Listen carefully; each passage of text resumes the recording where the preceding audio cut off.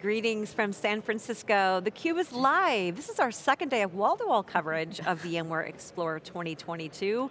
Lisa Martin and Dave Nicholson here. We're going to be talking with some ladies from Rackspace next. Please welcome Adrianna Bustamante, VP of Strategic Alliances, and Hannah Duce, Director of Strategic Alliances from Rackspace. It's great to have you on the program. Thank you so much for having us. Good You're afternoon, welcome. good morning. What, is it lunchtime already? Uh, almost, almost. Yes. And it's great to be back in person. We were just talking about the keynote yesterday that we were in, and it was standing room only. People are ready to be back. They're ready to be hearing from VMware its ecosystem, its partners, its community. Yes. Mm -hmm. Talk to us, Adrianna, about what Rackspace is doing with Dell and VMware, particularly in the healthcare space. Sure, no, so for us, partnerships are a big foundation to how we operate as, as a company, and, um, and I have the privilege of doing it for over, over 16 years.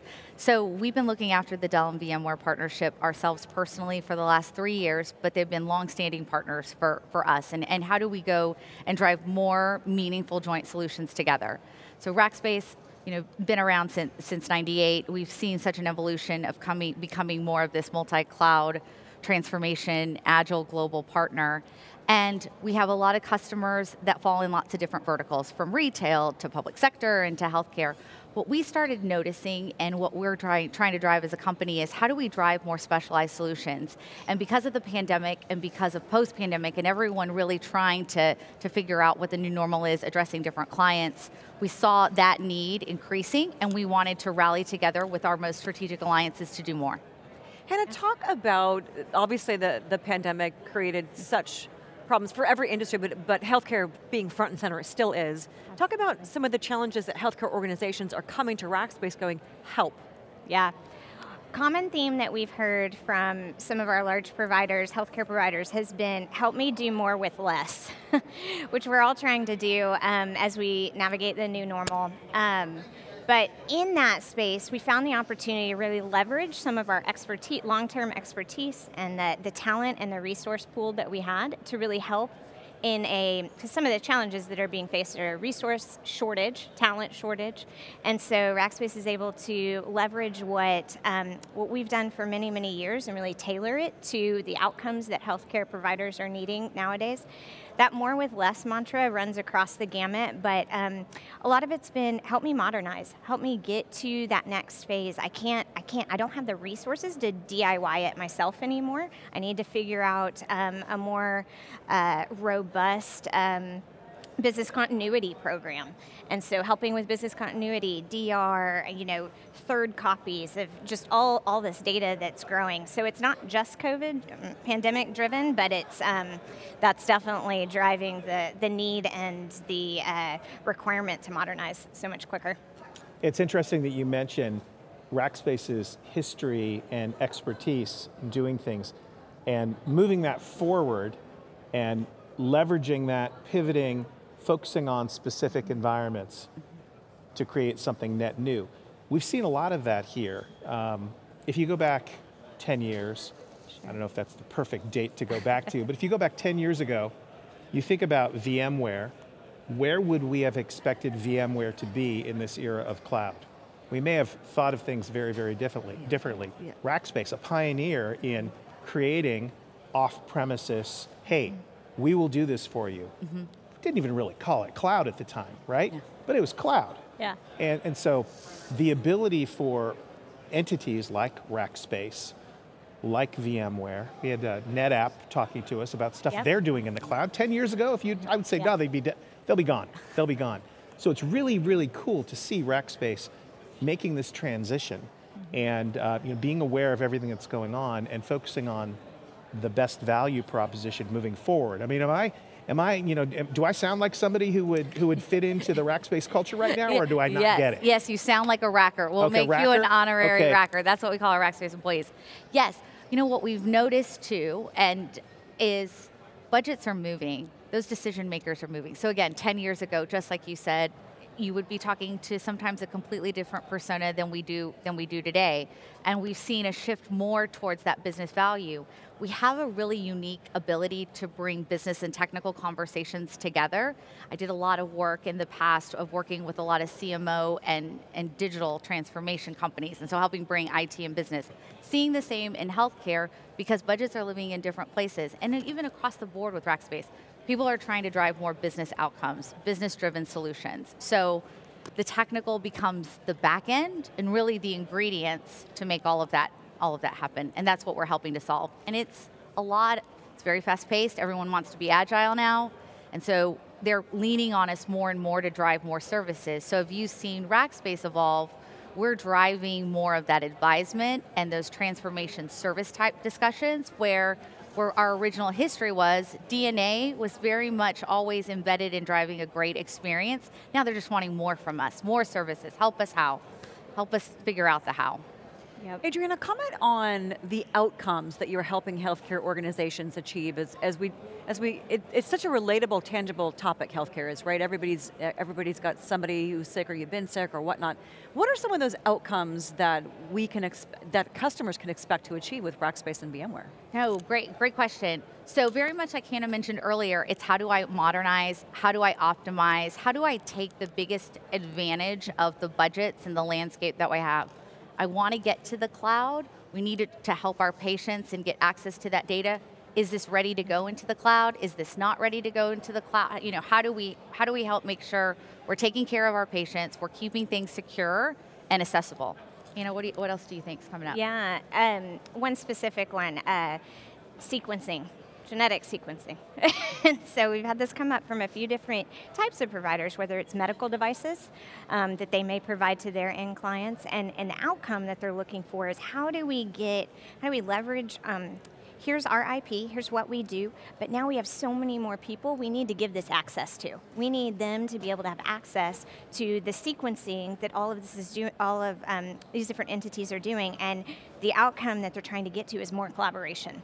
So, so that way we can speed up in the face of a pandemic. We can speed up those resolutions. We could speed up to, you know, whether it's a vaccine needed or something that's going to address the next thing that might be coming. You know, um, so that's a specific one. I've heard that from a handful of different different um, clients that that we work with, and so trying to give them a consolidated, not trying to, we are able to deliver them a consolidated place that their application and tooling can run in, and then all of these other entities can safely and securely access this data to do what they're going to do um, in their own spaces, and then hopefully it helps the betterment of, of, of, of, us globally. Like as humans in the healthcare space, we all benefit from this. So leveraging the technology to, to really drive a valuable outcome helps us all, so. So and by the way, I like trying to, because it conveys the proper level of humility that we all yeah. need to bring to this because it's complicated. And anybody who looks it you is. in the eye and pretends like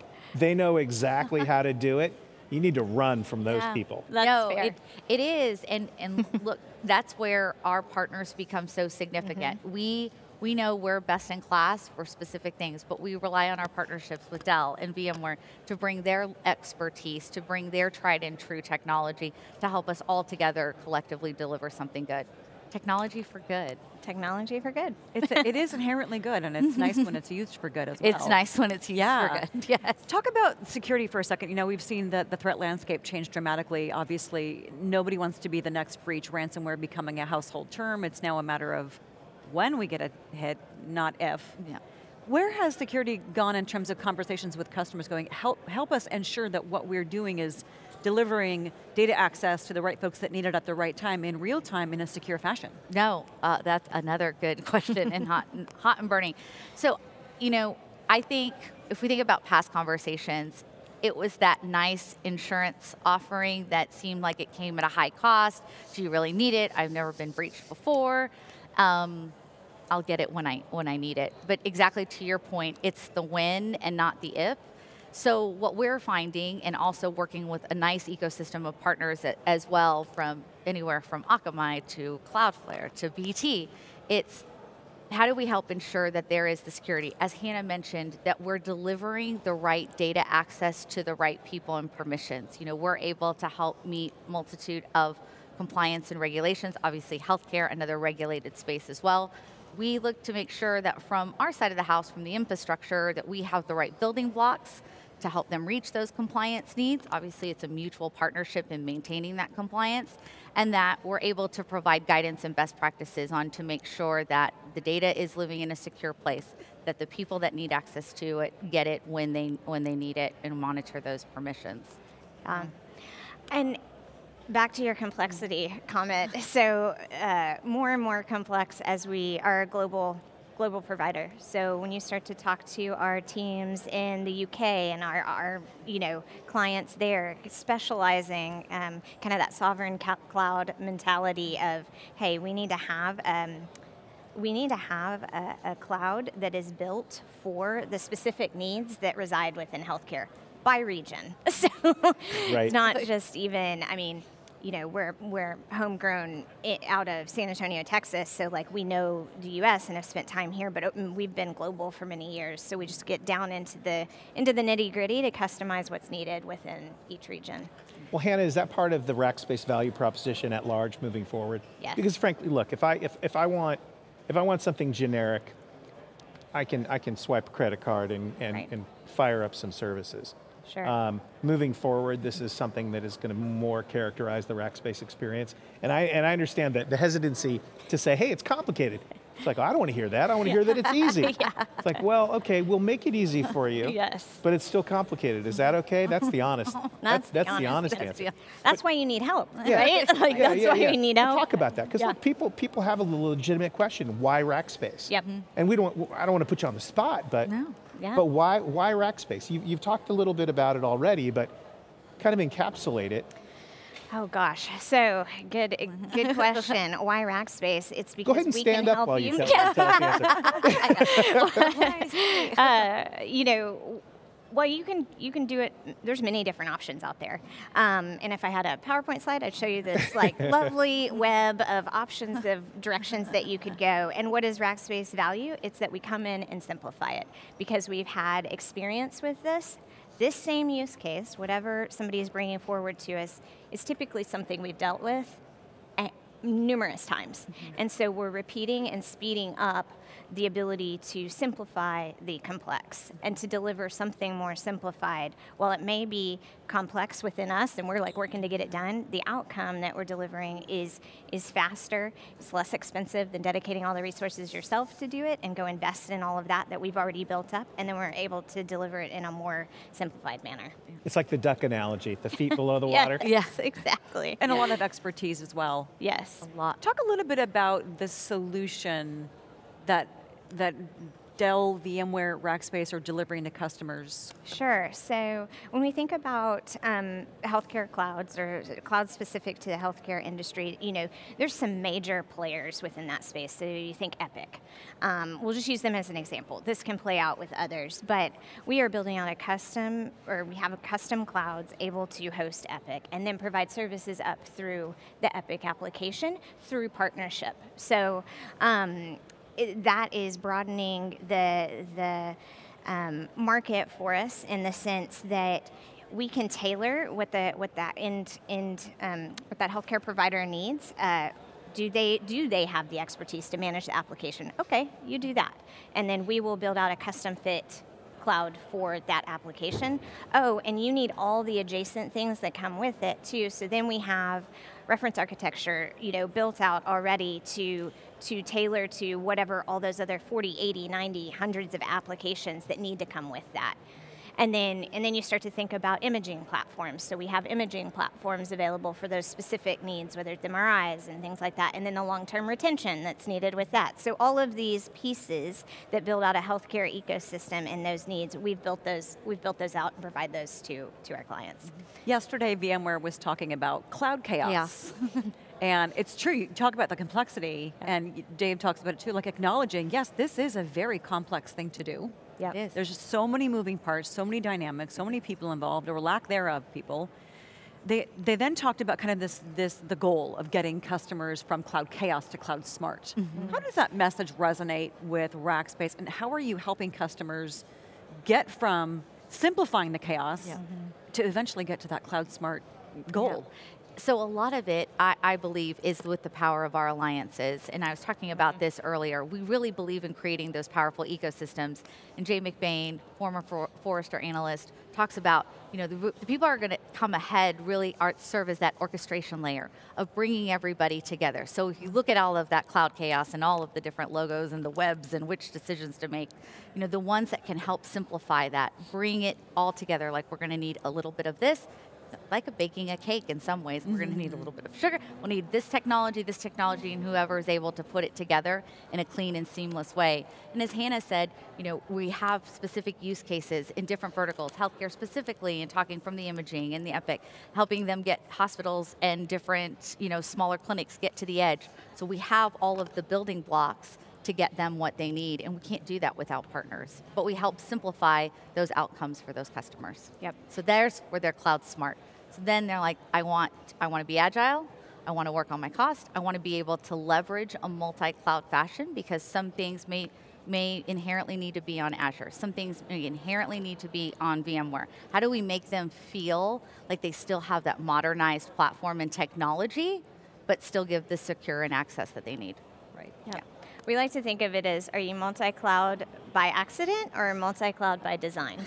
and help you get to that multi-cloud by design and leveraging the right yeah. the right tools, the right places. Um, and Dell was talking about that, ju just that at Dell Technologies World just mm -hmm. a mm-hmm. couple of months ago, that yep. most, most organizations are multi-cloud by default, not design. Yep. Are you seeing any customers that are, are able, or how are you able to help customers go from that, we're here by default, for whatever reason, mm-hmm. acquisition, growth, yeah. shadow IT, line of business, and go from that default to a more strategic multi-cloud approach. Yes, it takes planning and commitment. You know, you really need the business leaders and the technical leaders bought in and saying, this is what I'm going to do. Because it is a journey. Because exactly right, M&A is like inherited four different tools. Yeah. You have databases that kind of look similar, but they're a little bit different, but they serve four different things. So at Rackspace, we're able to help assess and we sit down with their teams. We have very amazing rock star expertise that will come in and sit with the customers and say, what are we trying to drive toward? Let's get a, a, good assessment of the landscape and let's figure out what are you trying to get towards in your journey